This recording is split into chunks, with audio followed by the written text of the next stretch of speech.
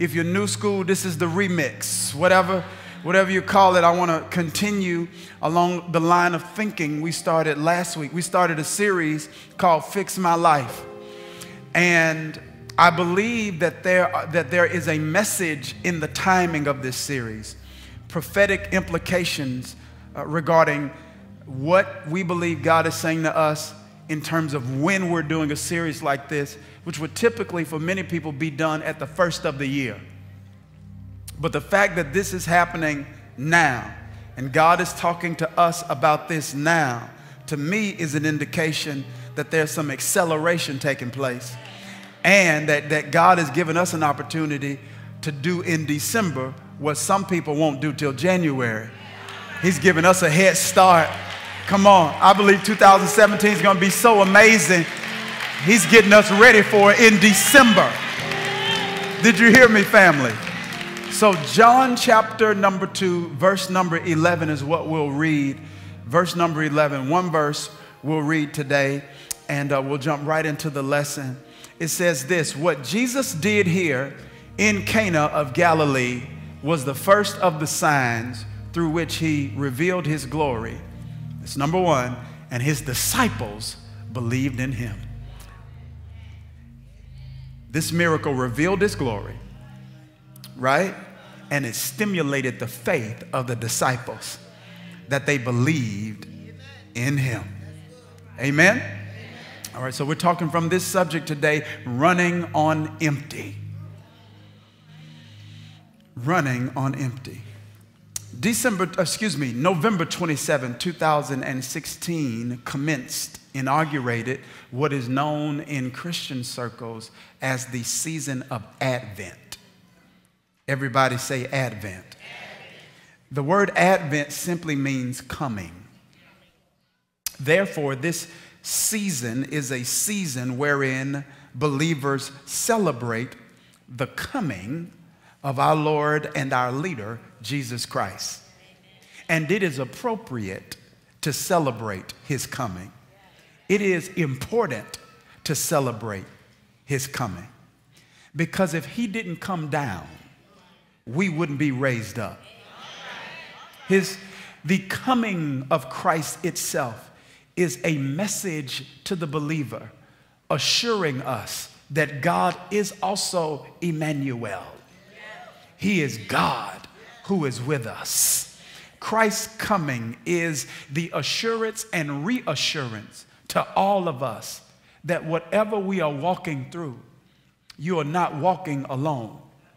For Emmanuel is walking with you. He's not just God for you, He's God with you. He's not just the God of heaven, He's the God of the earth. He's not just God in the high places, He's God in the low places. Whatever you're walking through, even if you're like David walking through the valley of the shadow of death, you can fear no evil. Why? For thou art with me. He is Emmanuel. Come on, church. He is God who is with me. He is eternally attached to me. He refuses to be separated from me. David said, I can run here and there, and he's already waiting on me before I get to where I'm going. And he still already is where I left him. He, he is God who occupies all spaces and all places at all times. He is omnipresent. He's where I left, where I am, and where I'm going at the same time. He eternally and simultaneously exists in three different spaces. He is, He was, and He is to come. He, he is the already and the not yet. He is God who is with us. He's in my past, making sure my past doesn't ruin my present. And He's in my present, making sure that my present doesn't ruin my future. And He's in my future, preparing a table before me in the presence of my enemies. He's God who's working in my past, working in my present, working in the future. He is Emmanuel. He is God who is with me. So when the burdens get heavy and the heart becomes filled with despair, we look in the mirror with tears rolling down our faces and we say, He is with me with my messed up self. He's Oh, glory to God. He's, he's with me even when I wasn't with him. He was with me. When I was faithless, he was faithful. He's been with me. He was with me when I knew he was with me, and he was with me when I didn't know he was with me. He was with me when I felt him. He was with me when I didn't. He was with me when I could see him. He was with me when I wasn't. He is Emmanuel. He is God with us. So it's important, it's appropriate that we celebrate his coming.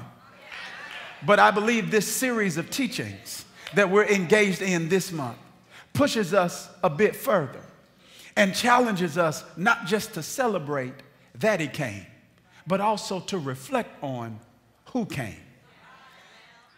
Because just because I know his name doesn't mean I know who came. Because just because someone knows your name doesn't mean they know you. Did you hear what I'm saying? Just because someone knows your name doesn't mean they know you. It's one thing to know his name is Jesus, but it's another thing to know who the Jesus is you're talking about. Because the name Jesus is an all encompassing name, it is a comprehensive name. It is the epitome and the compilation of all other names that were given to God in the Old Testament. It is a simplification of the complexity of the personalities of God. In the Old Testament, they had to call him Jireh.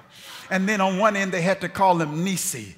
And on the other end, they had to call him Makadish. And on the other end, they had to call him Tsidkenu. On the other end, they had to call him Rapha. On the other end, they had to call him Shalom. On the other end, they had to call him Shammah. But in the New Testament, he is given a name that's above all other names. And when you say Jesus, Jesus means Shalom and Rapha and Shammah. He's the healer, the deliverer, the provider, the waymaker. It's one thing to know his name. It's another thing to know who he is.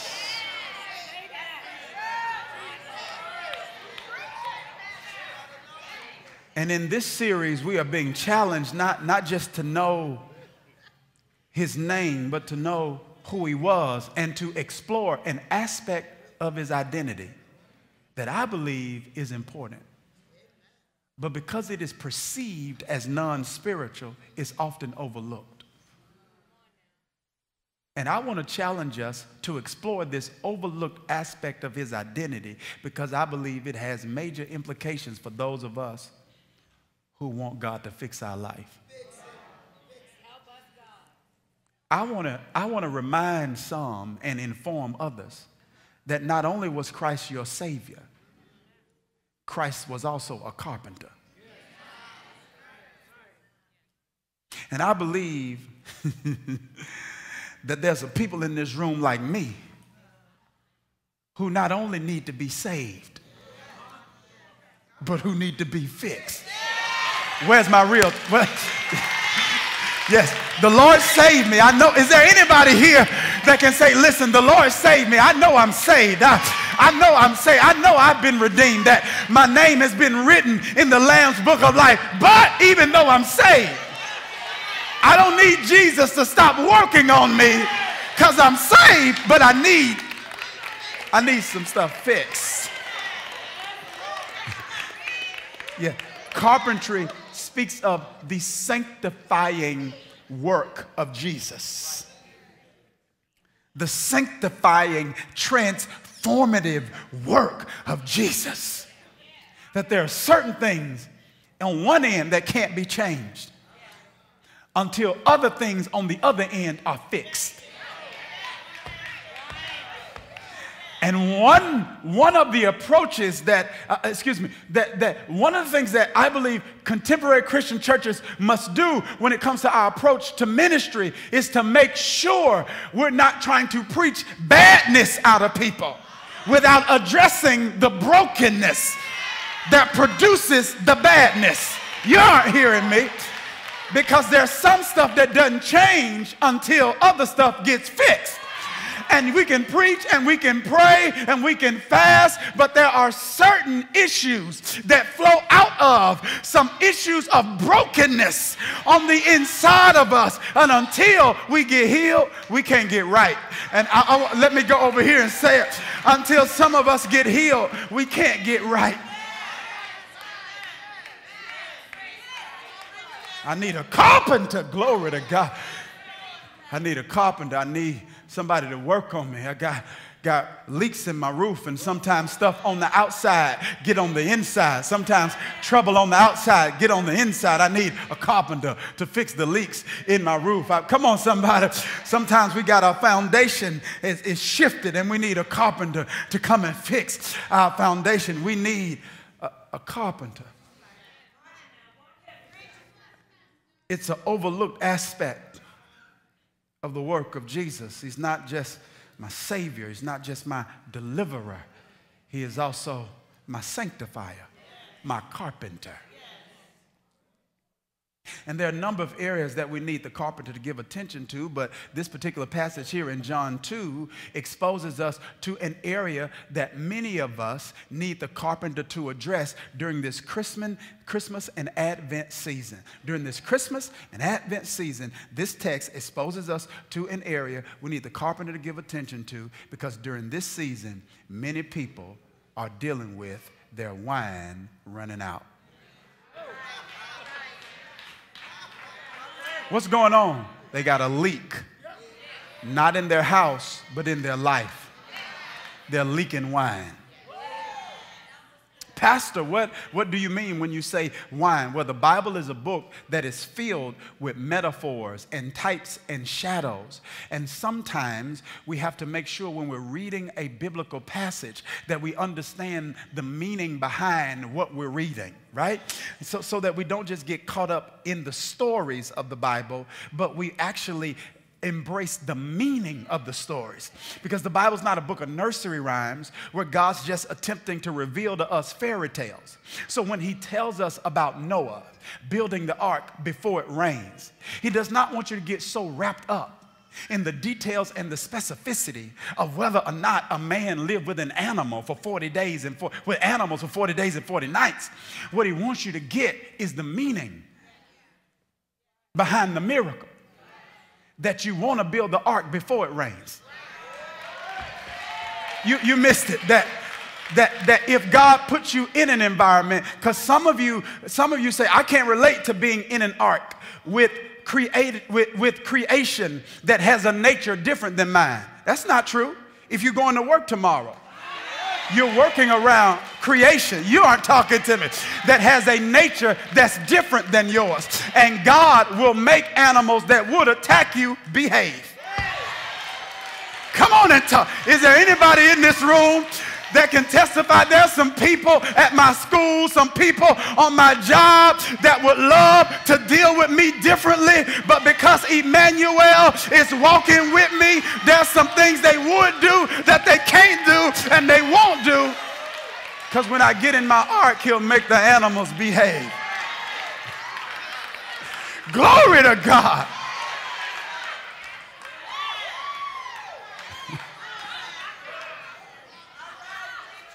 So it's a book of metaphors that God is, God is, I, I, believe in the legitimacy of Scripture. I believe in the stories of Scripture. I believe in them literally. However, there is a meaning behind them that should be embraced. Making sense? So when we look at wine, what does that mean? What is the message that God is trying to convey? And one of the many metaphors many metaphors associated with wine is joy. Proverbs says it makes merry. Joy.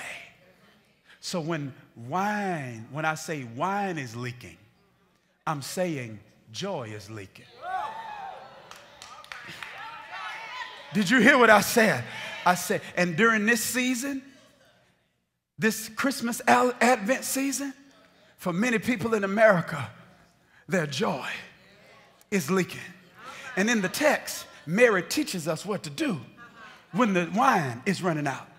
Mary runs to Jesus. This is the question. Why didn't she go to the vineyard? Why didn't she send somebody to the vineyard? See, there's a message in Mary's activity. The fact that she went to Jesus is an indication of something. That there are two types of wine there's wine you can get from the world, and then there's wine you get from Jesus. There is worldly joy, and then there's joy that comes from Jesus. You aren't hearing me. Jesus said these words to his disciples in the Gospel of John. He says, These things I've spoken to you, that my joy, come on, my joy might be in you, and that your joy might be complete. You didn't hear what I said. He said, What I want you to have is my joy. Did you hear me? My joy, meaning there's, a, there's another type of joy that comes from attainments, achievements, and acquisitions. So when you attain something, achieve something, or acquire something, it gives you a sense of joy. You obtain something, achieve something, or acquire something, it gives us a sense of joy. But this joy is temporary. This joy is elusive. This joy is fleeting because this joy is attached to attainment, achievement, and acquisitions. So if I stop attaining, if I stop achieving, if I stop acquiring, my joy goes with it. So if you take what I acquired, you take my joy. If you take what I've achieved, you take my joy. If you take what I've attained, you take my joy. I don't want that kind of joy. I want this joy. Because this joy over here that I have, the world didn't give it to me. And the world can't take it away. This is a different type of joy that says, I'm happy if you give it to me, and I'm happy if you take it. Because the good Lord gives, and the good Lord takes away. But blessed be the name of the Lord. Will I be upset if you take it? Yes. Will I get over it? Yes. Did you hear what I said? Yeah, it's, it's, it's joy. This, this, this, this joy I'm talking about is an organic, automatic outflow of a relationship with the Holy Spirit. It's what Paul calls the fruit of the Spirit. In Galatians chapter 5, he says it's fruit. It is automatic, organic outflow. If you are connected and if you are nourished, you're gonna bear fruit that you don't have to produce joy. Joy will be an automatic, organic outflow if I am intimately connected with the vine. Joy just grows off of me. And when fruit's been on you on the tree long, it starts falling off. You aren't hearing what I'm saying. And that's the way joy, people will get around you and joy start falling off of you and fall, falling on them. Joy, it's, it's, it's, it's a sense of jubilation that's based on the revelation that my welfare and well being rest securely in the hands of God. Joy makes a rich man jealous. Joy gives God glory, but it strengthens your witness. When we have joy, people from off the street want it, and people on Wall Street want it. it's what you can't pay for. It's what makes Zacchaeus climb a tree and look at you and say, Give me some of that. It's what makes Nicodemus come to you at night and say, I gotta have some of that. It's what makes your coworkers stick their head in your office and say, Do you have a second? Because they just told us they were phasing this whole department out, and everybody else is crying and having a nervous breakdown. But you sitting here packing your boxes, singing, This is the day, this is the day that the Lord has made. I want to know what is it on the inside of you that enables you to walk through fire and not be burned and walk through the flood and not be drowned. I, I want to know what that is. It's, it strengthens your witness. It, it brings God's glory. And this is why it's so important to the enemy. And it is why he engages in all types of activity to get your joy. Because sometimes the area the enemy is busy in is not the area he's concerned about. That sometimes he gets in what's around us so he can poke a leak in what's in us. Sometimes he bothers what we do see to try to get to what we can't see. Oh, I got Bible. I preach the Bible. I got Bible. If we examine Job's story, we'll see the devil meddled in Job's assets, his cattle, didn't he? He meddled in Job's relationships, didn't it? His wife and his children, and he meddled in Job's health.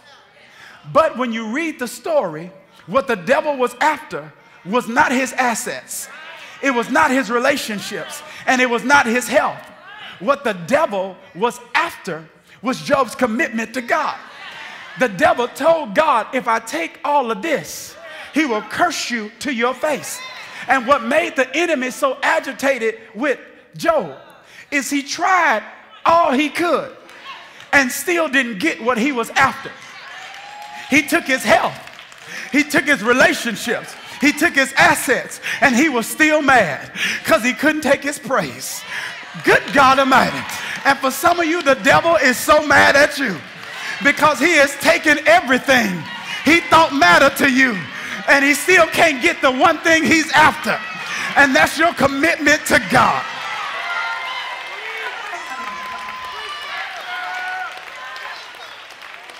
He might be after your wine. Because the joy of the Lord, Nehemiah says, is your strength. When joy goes, strength follows. Did you hear me? When joy goes, strength follows. When the joy leaves a relationship, the desire for the desire to fight for it leaves also. Because who wants to fight to keep something that's killing you?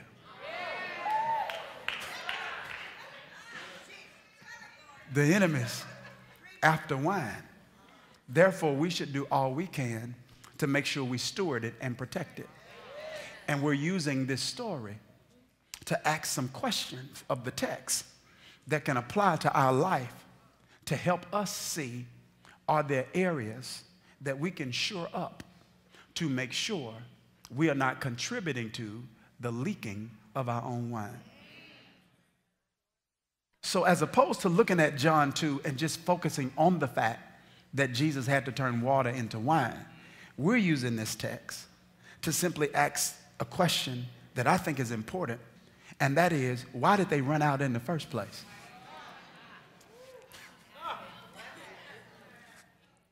And last, last week we gave you three potential, um, we gave you three possibilities. We said maybe it ran out because there were un, uninvited guests, right? That there were some people that showed up that shouldn't have, and they should have stopped those people at the door. But when you let some stuff come too far into your life and you don't stop it at the right time, it takes your joy. Then we said there were not just uninvited guests. Number two, there were what? Unexpected guests. That some things aren't uninvited, they just showed up at a time you didn't expect. You see what I'm saying? It's like somebody shows up at your house, you're like, oh, I'm glad you came. I'm not, I'm not upset to see you, but if you called me, I would have told you come at six. right? Good people, bad timing. And sometimes stuff comes up in our life at a time we didn't expect. Is that right, family? And it can take our joy. And then thirdly, we said inconsiderate guests. Yeah, th- these, these are people who want you to be considerate of you as long as you being considerate of you doesn't negatively impact them, right? It's people who say, get some rest until I call. You can't help everybody, child, but me. I just, I just, in the few minutes I have left, want to give you three more for you to consider today. Maybe it wasn't any of the first three. Maybe it was this one. Maybe it was number one improper planning. Maybe they sent out invitations for people and were expecting people to respond favorably to their invitation, but they weren't preparing for what they were expecting. Anybody expecting something? Are you preparing for it? Are you praying for? Are you preparing for what you are praying for? Because if I don't prepare for what I pray for, I can get what I pray for, and what was intended to be a blessing becomes a burden. Whether or not the promotion is a blessing or a burden depends on if you're prepared for it. Whether or not the opportunity becomes a blessing or a burden depends on if you prepare for it. Are you hearing what I'm saying?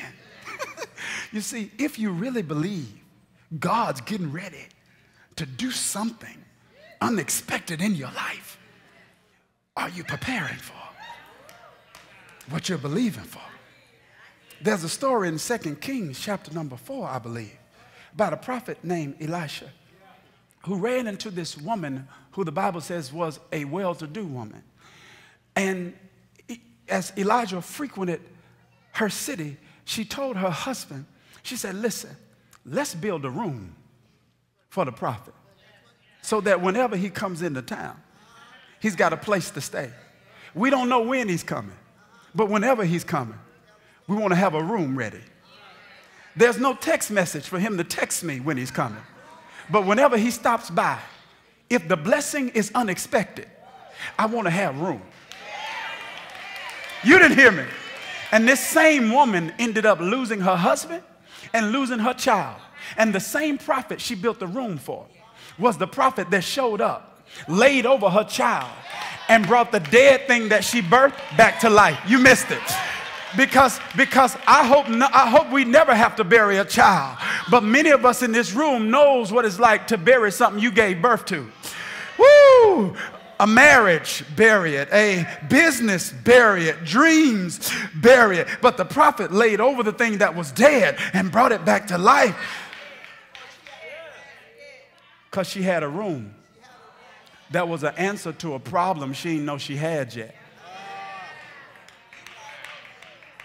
Because if I don't pray, prepare for what I'm praying for, if I ever get what I'm praying for, I'll get what I'm praying for. I'll get the blessing but lose the joy associated with it.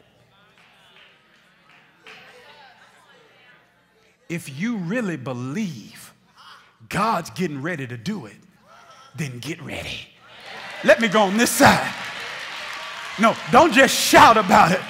Get get ready. You didn't hear what I said. Years ago, y'all, y'all, y'all don't, uh, y'all, y'all ready to go. I'm, I'm more excited than you. This is my fourth time preaching. I'm more, I said, if you really believe God's gonna do what you're believing Him to do, then don't just shout about it. Leave here and get ready. You aren't here. Yeah, maybe it was improper planning. Number two, maybe it wasn't improper planning. Maybe it was inaccurate assess, uh, inaccurate perception. Maybe it was maybe somebody was looking at that wine, saying, "Oh, we got about half. We all right."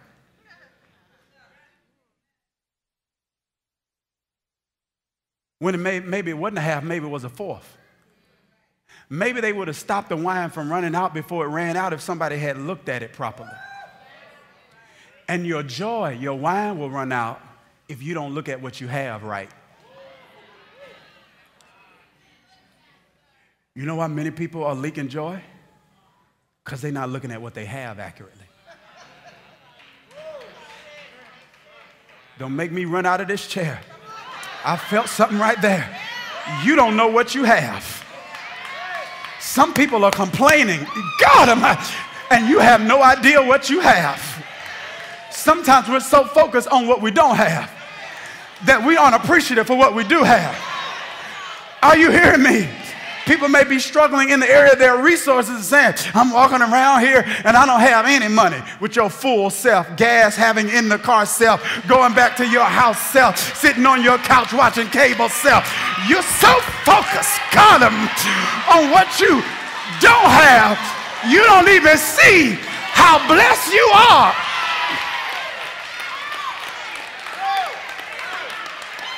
Your full, good looking, driving, warm house, having self, closet full of clothes. I don't know what to wear.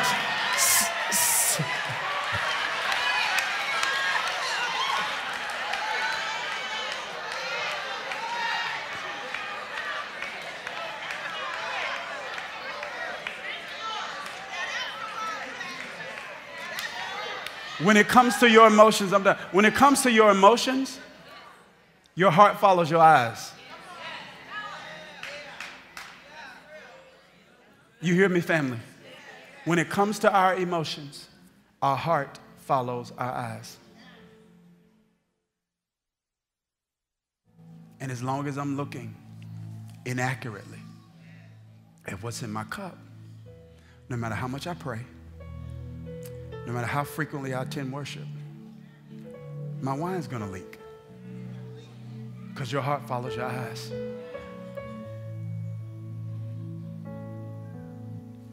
How are you looking at it?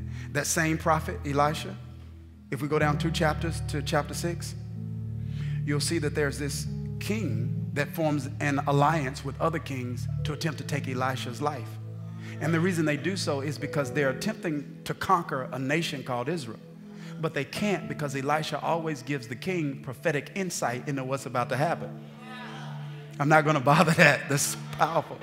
So they are fighting with weapons, but Israel is fighting with the word. Right? Because the prophetic voice gives you an advantage. It's the X factor. And so the devil knows if I can cut you off from the voice of God, then you're left to fight the same way everybody else fights. Are you hearing me? See, you have an advantage when it comes to decision making. You look at all the facts, that's what everybody else does. But then they have to depend on their own limited intellect and ingenuity to make a decision. And they can only see in the present. But you've got a relationship with a God who can see in the future. Are you hearing me? So, so we don't have to suffer from the same angst and anxiety about making decisions. Why? Because I have a, a God who will speak to me beyond the realm of my five senses and say, Nope, leave, stay, don't do it, hold up, push back, stop, slow down, get a second opinion. Do you hear what I'm saying? If the enemy can cut us off from that, we have a weapon that we aren't using. So these kings try to come and kill Elijah, Elisha. And so the servant walks out one day and he sees all of these armies and he says, Lord, it's over. Oh, Lord. But then Elisha, the prophet, comes out and says, um, Yeah, don't be afraid. He speaks to his fear first. Don't be afraid. And then he says this this is so powerful. This really should be an encouragement to all of you who are intercessors. Elisha prayed, open his eyes. And watch the text. Then the Lord opens the servant's eyes. You missed it. He didn't pray, Elisha didn't pray for God to open his eyes. He prayed for God to open somebody else's. And God didn't even ask the servant's permission. He opened his eyes without his permission. And when he opened his eyes, he looked and saw the hills full of horses and chariots, a fire all around Elisha.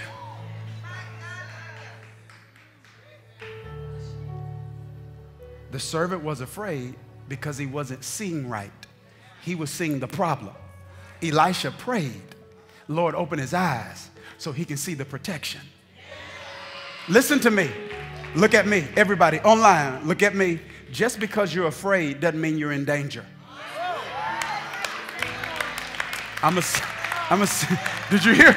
Just because you're afraid doesn't mean you're in danger. The servant was afraid, but he wasn't in danger. Because the armies of God were right there with him. How are you seeing it? Some stuff you can't change, but how are you seeing it? And the way you see it will determine whether or not your wine's going to run out.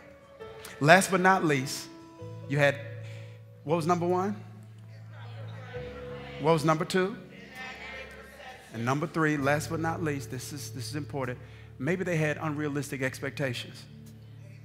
Maybe they actually thought you were going to bring a bunch of people into a feast with a free open bar and they were just going to behave. Let me see, you mean all this wine, this, this mine? I don't have to pay for any of this.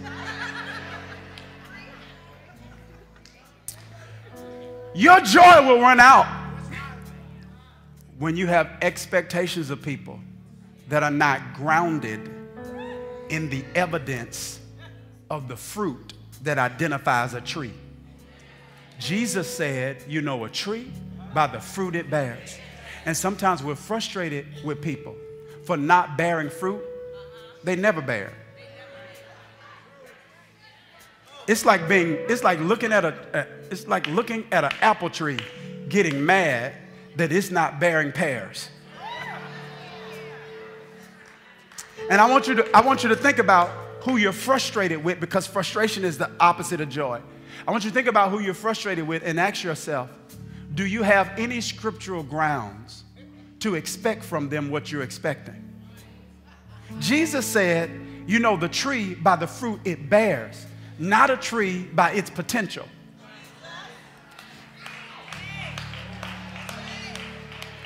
It doesn't mean that you don't see the potential and encourage the potential, but people will behave according to their perception of themselves, not your perception of them.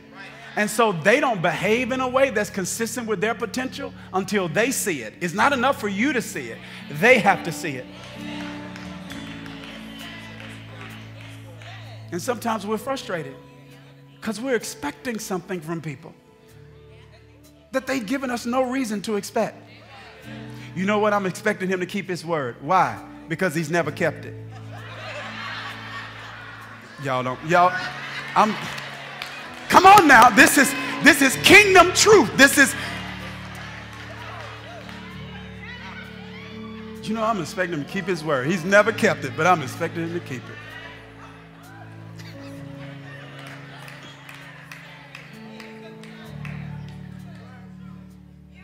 May God give us wisdom to properly plan for what we expect. May He open our eyes to properly see what's in our cup.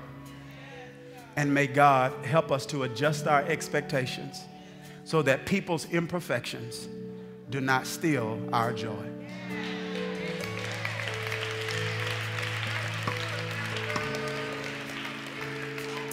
I want to pray for you. There are those of you in this room under the sound of my voice who need to make a decision in this. Hey, I want to thank you for watching. And I want to encourage you to subscribe to this channel so that you don't miss any of our streams and any of our videos. All right, if this message bless you, do me a favor, share it with somebody else. I'll see you next time.